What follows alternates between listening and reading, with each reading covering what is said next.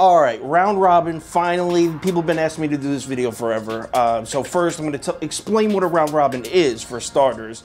Uh, second half of the video will be when to use them in the smartest way because they're not always smart. They're usually not smart, but how to use them in the smartest possible way. Let's get into it. Welcome to the Sauce. Hey, get the Sauce. The Sauce. Sauce. The Sauce. Hey, get the Sauce. Okay, so what is a round robin? Very common question, probably the most confusing type of bet out there.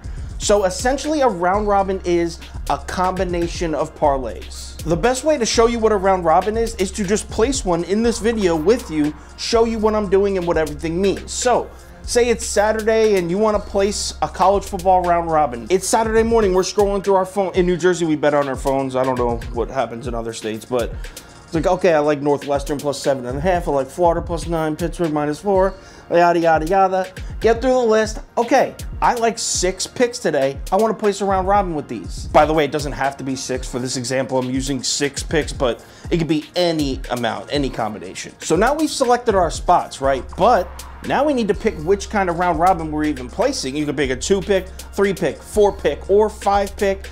Two pick would be the safest five pick round robin would be the riskiest. All right, so let's say we want to place a safe round robin with these six picks. The safest option is the two pick. So we type in $5 into this little box next to two pick here. If you notice it says times 15 next to it.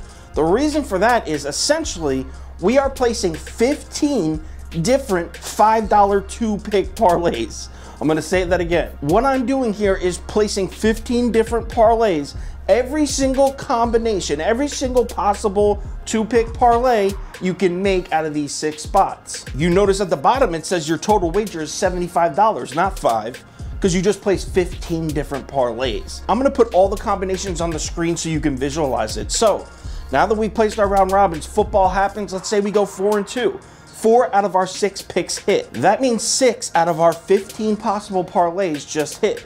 So the payout would be whatever those six parlays pay out. Six $5 parlays, whatever they pay out. That's what you just made. Now rewind, let's say we want to do a three pick parlay. That's a little bit riskier. Same thing, we'll drop $5 in the box. This time it's times 20 because there's 20 different combinations of three pick parlays out of those six spots. It's always going to be every single combination you can make of that pick parlay out of all your total spots. So again, say we go four and two, four out of our six spots hit. That means only four out of our 20 possible parlays hit. But these are three pick parlays, so they're gonna pay out more. Now that brings us to the most important question, because a lot of you already knew that. When is the smartest time to use round robins? I understand round robins, you understand round robins. When do we use them? How can we use them to turn a profit?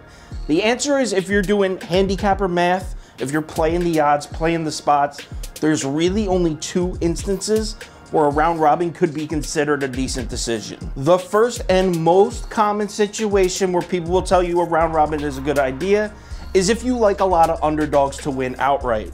So say it's football Sunday now, right? Sunday morning, I'm scrolling through. Um, I do all my picks. I pick my favorite spots, and four of them happen to be underdogs, and I think those underdogs can win the game straight up. What I'll do is I'll take all those money lines, those underdog money lines, I'll dump them into a round robin.